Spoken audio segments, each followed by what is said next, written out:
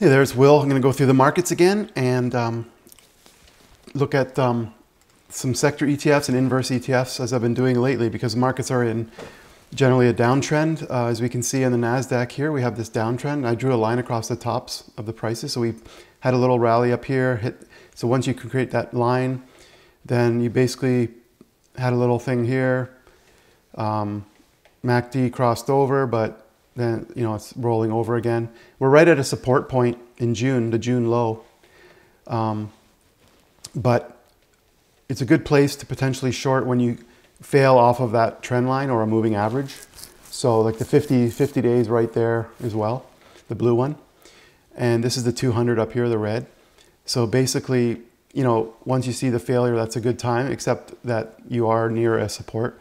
And so um, you could you know, you could wait for more of a, a break of that downtrend, of that um, support line. But um, if we go to, let's say IWM, it's doing a bit better, but in a sense, like where it's not right at its low, the last two lows here, but it did fail. So when you see that um, sort of upper wick and pushed right back down, that's a good failure point especially when you're down below the 8 EMA and a red volatility stop. So you're now, the price is below the, uh, the volatility stop. So that's showing the dot near where that support line is here. So to me, this is a sign of another down leg. And just a matter of, you know, it's going to go up and down. It doesn't just go straight down, so it'll be zigzagging. But um, we're still in a downtrend. Um, if we look at S&P 500, these are all very similar. Um, we just failed off of that um, line. Now, what happened was employment unemployment rate went from 3.7 to 3.5 percent. So that shows that there's actually more jobs, like more people working. So basically, you know, the fear is that the inflation will be high or that um, they won't pivot. So a lot of time the market's just waiting for this pivot, looking for weakness. They've seen a few indicators of other countries that have capitulated like Bank of England and stuff. So they, you know, they're waiting to see. But I honestly think they have to stay at high rates and maybe even higher rates because they have to get the inflation down to 2%. But a lot of things are going to break even at the governmental level uh, in other countries as well as in the US or, you know, there could be all sorts of problems with government issues. Their debt is so high that, you know, the interest rates are making the debt payments really, really high. Um, so you've got the sovereign issue with the countries, their bonds, like the government bonds. Nobody's buying the bonds that are used to, to, you know, for the debt of the government. So you know, the Fed, the central banks have to basically buy the bonds, um, but that's not happening if they're doing quantitative tightening and higher rates. So Dow Jones did the same thing. So what I also added in my market section, just because it's important to the markets, is the dollar index. So you can see it pulled back. That's where the market sort of rallied. The dollar kind of came down, but once it bounced off of this 34 exponential, now we're back up again above the 8 EMA. So we're still in an uptrend. If we look at the weekly chart, I'll turn off the, um, you know, we're in this uptrend. Um, you know, it is pretty high and it's fairly steep and it's fairly high off of these moving averages, but for now, that's what it's happening. And it's, you know, you get these little pullbacks to the 8 EMA, but still in an uptrend. So that's the US dollar index. That it takes into account many other countries' um, dollar as well, relative strength. And then TBF is a 20 year Treasury ETF inverse. So basically, it goes up when the yields go up. So you can see that the yields are going up. And so we're still in this uptrend. Um, and you can buy those ETFs. I'll show that in a second. And then the VIX um, if we go back to daily, we're right at this 200, so you can see how it bounced off of it. So, um, but it is curling back up again on the MACD or price percent oscillator momentum. So, you know, my, my gut is saying that this will probably continue to rise. So you could draw, I think I might have done that already. Yeah, there's a line here, which is kind of the support. So it's a little bit up, off of that. But, you know, if you're seeing it pull back at some point and go up, um, you know, it's heading in that upward direction and there, people were saying that you need you need VIX to be like if I go to the VIX, um, this one here, you need the VIX to be up pretty high for capitulation, like where the stock just market just tanks. We're not even close to that. Like in 2020, you had this huge rise. So we're just at 31 right now. But if this breaks this sort of trend here, and start keeps going higher, if it breaks this trend line here, and see how it's doing like a J hook, like curling back up again, then you know we could be in for trouble. So from there, um, you know, I do look at the S sector ETFs, but you'll notice that like I have a whole bunch here. I have 141 of sectors ETFs that I've. They're most of them negative. So when you're at the top and you have low percentages here, like there's there's not very many before we go negative. That's an indication that you know yes Friday was a down day. But there's a few things that are going up um, that aren't inverses and stuff like that. As I mentioned, TBF. So I'm in this fund. I've got a. It's a. Um, it goes up when the yields go up. So once we broke this little pullback know, had a break here in an uptrend, then you can continue, you know, that could be continuing to go up. Um, the shorter term bond yield is the SJB, and that is supported at the 34 exponential and now is above the 8 EMA. So, um, except that this hasn't crossed back over, but it's curling around. So you, if you get in early, you're, you're taking a bit of a chance, but um, you did see it support and bounce up with a gap. So that is a, um, a good sign. If you look at, like on my chart, I've got 30 day performance. The TBF is 10% and the SJB is 5%. So the TBF has done, done better than the SJB, the short term rate. So, you know, sometimes you can also, if you want to get really focused on the best performing things, you can look at that type of information as well. Um, so oil and gas is going up because Saudi, the OPEC Plus decided to cut production. So um, the the counter of that is that if you have a recession or some major global recession, that oil will go down, the energy use will go down quite a bit. But cut. The U.S. is really low on their strategic petroleum reserve, and so you know, and there's not a lot of exploration uh, in oil and gas because of this climate change, you know, stuff like that. So and the ESG and all that. So it's, um, you know, that's the thing that's going to drive it higher. But the fact that the recession, et cetera, but the, with unemployment being 3.5, you know, it doesn't seem like things are too bad right now in terms of the economy. Um, so there's some agricultural commodity type stuff, and some of these have oil and gas in them, gold, metals, and agriculture. But you see how it broke this big downtrend here. So ideally, like it's above the 50, you could buy there, but I, I'd like to see a little pullback and then a, and then a, a next up leg. So because you had a whole bunch of up, up candles in a row, which doesn't generally happen too often. You know, you want to see some sort of down day and then uh, maybe some strength returning so you could get in. But um, and if you bought in right when it crossed, you're also right at the 50. So a lot of times it breaks up through the 50 and pulls back like here. So um, but agriculture, I noticed GSG is a similar one, commodity based. So it's broken the thing, but you know, I'd like to see a little pullback and then a, a, a pivot there so you could see the, um, you know, that could be your stop area. And then you've got the cotton and corn, stuff like that. Um, that sugar cane, these are all commodity um, ETFs, DBA as well. You can look at those and see what is in them in terms of the composure. Some of them don't have commodities or don't have oil and gas or gold in them. They're just commodity specific. So what I've got, I've got a watch list right now. This is subject to change at any point in time, but I'm in UUP.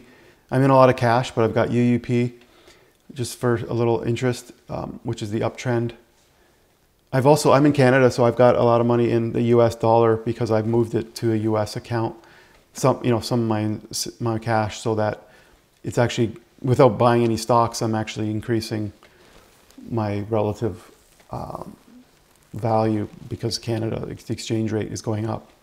But TBF, as I mentioned, and then I am in, in the PSQ, which is the inverse of the NASDAQ. It's just a one-to-one -one inverse, but you see how we have this recent, we have, we're very close, like on the, on the Qs, it's a little different. But I mentioned that we're right at that support point. But with PSQ, we're, we're it's not quite the same, but there's a J hook here, support at this trend line and, and heading up again. So this isn't generally a great spot when you see this little curl up again. it's up high off of the zero line for the price percent oscillator. You know, I like to get it in when it's crossing zero, you know, down here. Um, but because the chance of, you know, things reverting back like this, once you get up high up here and you see how it pulls back down to zero, goes up again a little bit, but then it comes way back down. And so you went oversold, then you, then you start to reverse. So if you're getting in down here, you know, that's a great spot because you got this crossover and you're just getting above the 200 you do have congestion with the other moving averages there, but um, I'll just take that off. So that's the ideal spot. Or when you see this pull back and then it bounces like a big gap up here above the 50, that's a great entry point. So I put arrows usually where I, where I think you know I should have say got in looking back, but um, we'll see what happens. But if we go to inverse ETFs, there's a whole bunch. Some of them go up and down quite a bit. Like cannabis went up huge because of. Um, let me go to the states for a second. I'll just show you this. There's MJ and there's also YOLO. You had a huge candle when they when they pardoned a lot of cannabis users, and then a, a, a huge um, thing that doesn't affect really anything that they're doing for the for the laws, but uh, federal laws towards cannabis. But you know, it is getting close to an election time, so um, but I, am not into, you know, these are just too big of turn. Same with inverse ARK. If you want to be in a highly volatile area, like you've got big ups and downs, but that's the inverse ARK. So that's kind of like if you're, if you're, if you're thinking the markets are going to go down, especially NASDAQ with interest rates, you know, you could get into more specific tech stocks, tech ETFs inverse. So that, um, that's one of them. But even these are big moves for NASDAQ and for IWM like for Russell 2000.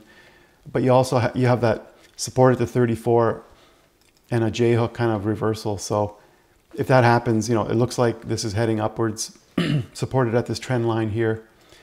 Um, and green volatility stop. So that would be, that could be a, an entry point. Even though you're not crossing at the MACD, you're up pretty high and it is curling around. So, um, but you know, it's a highly volatile area to be trading in right now. So it's you know, it's not the greatest where you have a more stable uh, market and economy and global issues. Um, so you know, there's a lot of ups and downs which can shake out people with their stops and stuff. Um, Bitcoin's another one in Canada. BITI, if you want to, it's still been sta staying around that 20,000, 19,000 point and very low volatility, which is interesting for a cryptocurrency. But um, you know, if things start to move, you know, this might be something to get into if Bitcoin starts dropping below its support, you know, in the 18 or 19,000 range. um, because earnings are going to be coming out and they may be too too high estimates, so that would probably create another leg downward. Or inflation next week, CPI, PP is going to show you know, if those are are not good, then and the more and more acceptance of higher rates and longer term higher rates, um, I think you know that could be another down leg in the markets. Um, I just wanted to talk about this one thing I took a screenshot of, which is the. Um, let me just close that. So this is the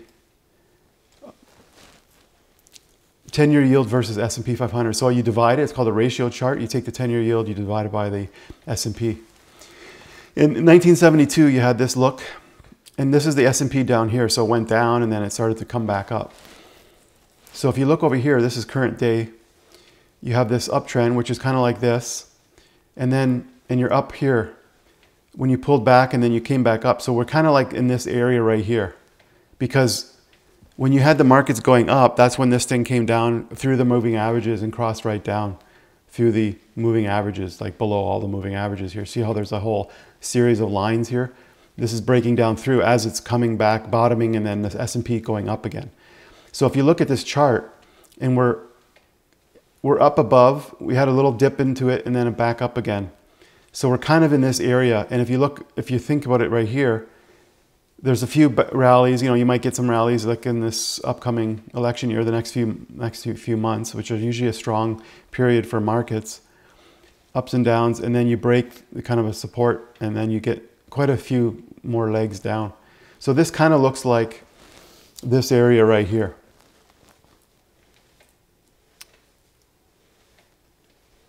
But, you know, you could conceivably, um, you know, pick a spot along here, which is a lot longer, you know, it hasn't been in that section that long, but, um, so that I wanted to point this out because it looks like if we're in this area that there's quite a bit more downside in general. So that's an interesting chart. So anyway, I think that's all I want to say. If you want to get TC2000, which is what I use here, check out the link in the description. You can get a free trial or $25 off your subscription. And, you know, I use these, I use the, these, uh, the palette to draw lines and trend lines and arrows. I've got um, the volatility stop indicator up here. So you, you know, you can see where it's flipping from red. See this down thing? The red can dots help you see the, the trends. Now we're back up again in the green. So you can use those as stops and also, you know, reversals in, um, um, in trends. Uh, all sorts of watch lists here.